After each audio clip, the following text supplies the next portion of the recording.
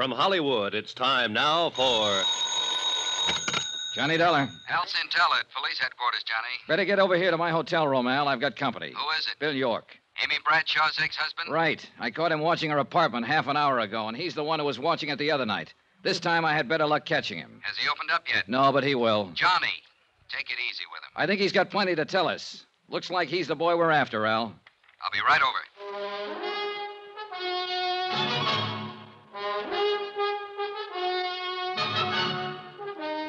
Tonight and every weekday night, Bob Bailey in the transcribed adventures of the man with the action packed expense account, America's fabulous freelance insurance investigator. Yours truly, Johnny Dollar.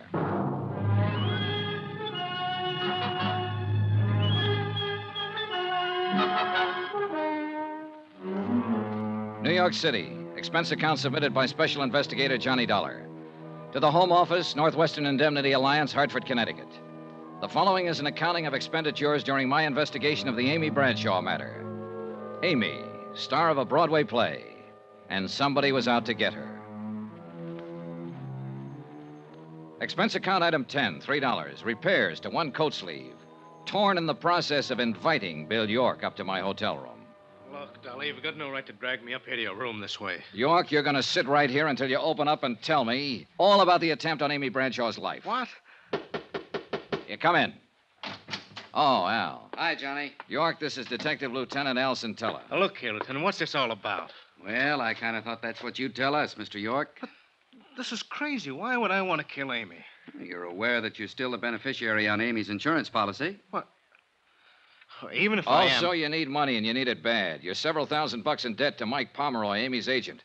He's been pressing you for it lately. Look, Dollar. And you know you can't get the manuscript of your novel out of hock from him until you pay off. You've got two strikes against you, York motive and opportunity. Opportunity? Sure, but motive? No, Dollar. I've never had any reason to kill Amy. It's true she and I couldn't make it together, but I guess that was more my fault than hers. Go on. You see, Amy's never let anything stand in the way of what she wanted. What she wanted, I didn't. I guess we just lived in two different worlds. What do you mean? She's always been a success, and I've always been a failure. You still haven't explained why you lied to me, York. Lied? When I talked to you this morning, you told me you hadn't been near Amy for a long time. But when I caught up with you in front of her apartment tonight, I realized you were the same one who was watching it night before last. How about that, York? You fellas don't believe me much. What do you mean?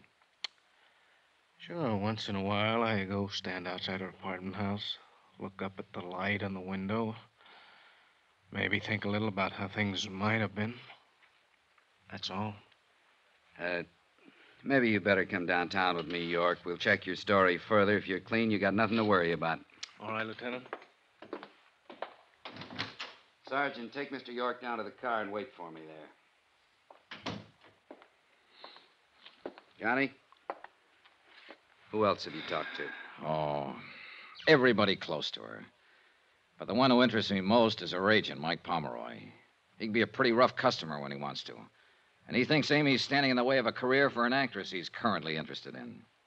Let's talk about somebody else for a moment. Oh, You, Johnny. I think you're getting a little bit out of line. what do you mean? Down at police headquarters, we got a little black book. It tells us what to do and what not to do. It doesn't say anything about insurance investigators dragging possible suspects to their hotel room to question them. Listen, Al, when I'm assigned to a case, I usually try to break it any way I can. I know. It's just that I think you're taking this case pretty big. Meaning, Yesterday, I told you that if I didn't know you better, I'd think you were falling for Amy a little yourself. Think it over, Johnny.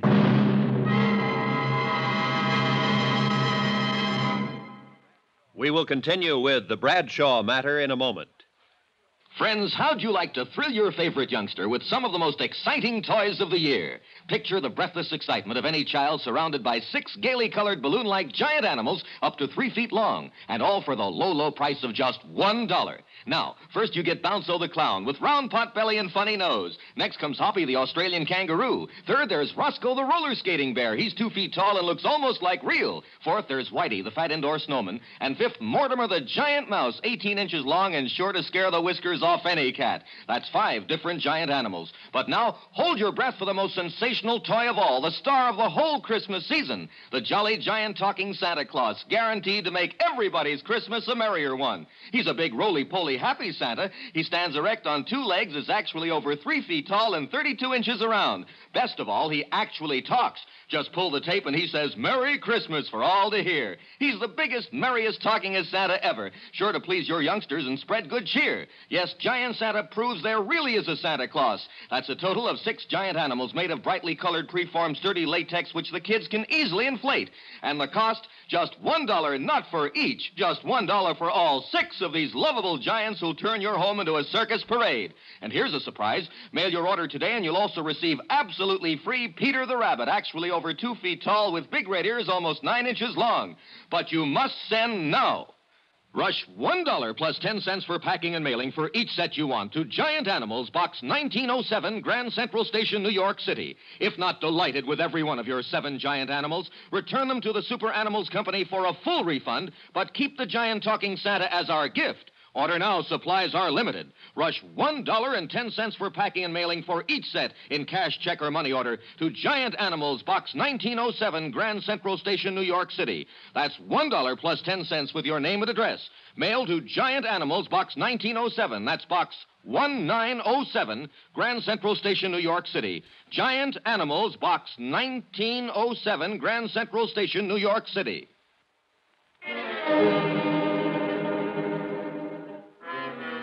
Expense account item 11, $4, drinks. For me. I thought about what Al Centella had said. The possibility I was falling for Amy Bradshaw. Thought about it for two hours. Finally, I decided I had to find out if he was right. I went over to Amy's apartment. It was good of you to come over, Johnny. I just can't seem to sleep lately. Yeah. I noticed there's a policeman on duty down in the lobby. Lieutenant Centella arranged for that. It's funny. It should make me feel better, but it doesn't. It Just keeps reminding me of it. Threat on my life. I'm glad you're here, Johnny. So am I. Awfully glad. Maybe I shouldn't say that, but Do you hear any objections? well, who could. Excuse me. Yeah, sure. Hello? Yes? Oh, Porter. What? No, I'm sorry. I... No, really, Porter, it's out of the question. No, I... Good night, Porter. Kane, huh? Yes, I suppose he means well. But he can be rather annoying. Do you have a cigarette, Johnny? Here. Thanks.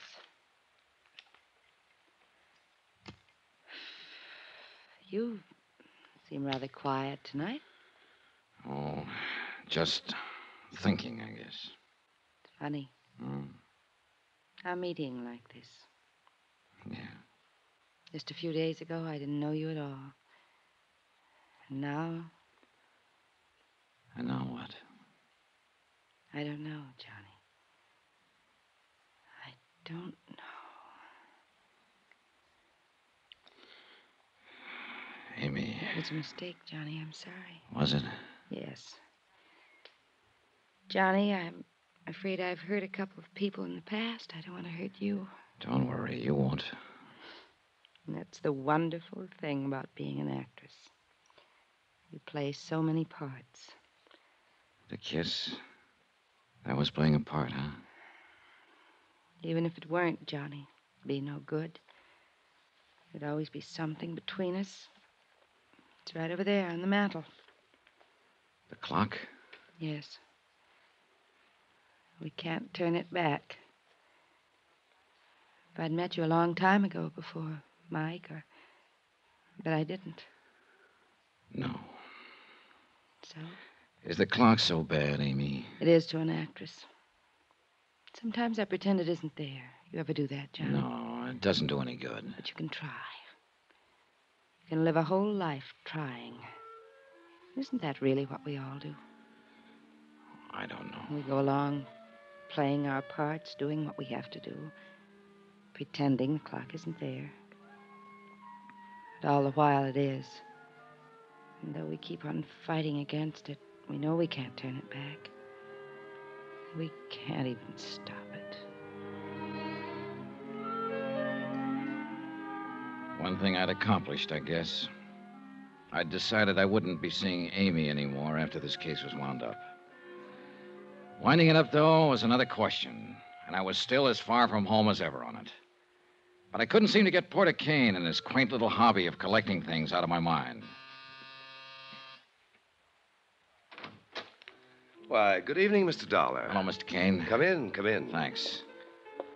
I know it's late. I'm sorry. Not at all. As a matter of fact, I was hoping I'd see you again. I don't want to keep you. I see your hat and coat. No, I'm not going out. I've just come in. Oh.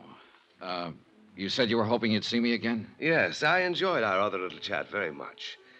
I, um, suppose you came to talk some more about Amy Bradshaw. Matter of fact, Mr. Kane, I came to talk about you. Splendid. And about your hobby. Collecting. A fascinating hobby, Mr. Dollar.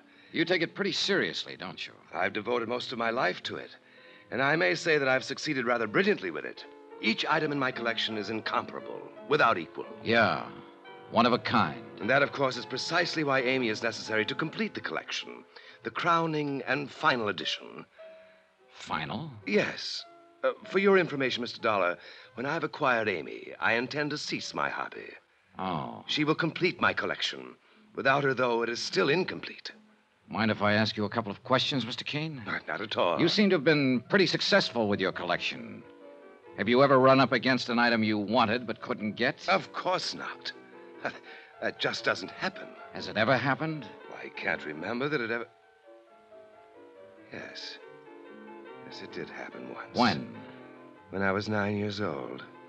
A playmate of mine had a lollipop that I admired greatly. He wouldn't give it to me, and he wouldn't sell it to me. What did you do? I, I did the only logical thing there was to do. I smashed the lollipop, Mr. Dollar.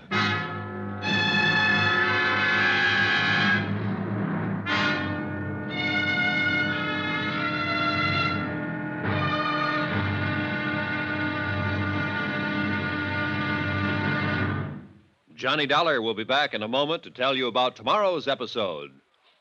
Friends, send for your set of some of the most exciting toys of the year. Six giant inflatable toys for only $1, some up to three feet tall. You get Bounso the happy clown, Hoppy the Australian kangaroo, Roscoe the two feet long roller skating bear, Whitey the fat indoor snowman, Mortimer the giant mouse 18 inches long, and last but not least, the great giant talking Santa, a roly poly giant over three feet tall and 32 inches around the belly that actually says Merry Christmas out loud when you pull the tape. That's six sensational giant toys for only $1, made of sturdy, gaily colored latex that the kids can easily inflate.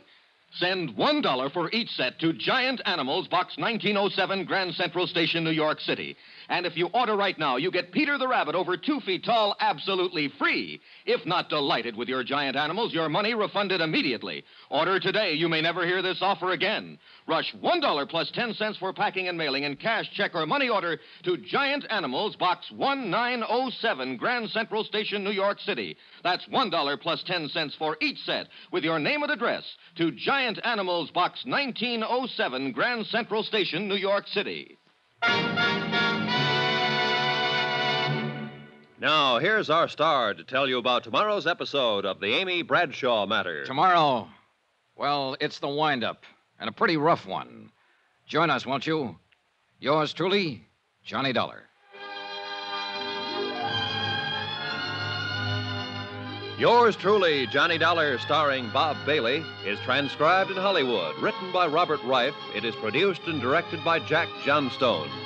Be sure to join us tomorrow night, same time and station, for the next exciting episode of Yours truly, Johnny Dollar. Roy Rowan speaking.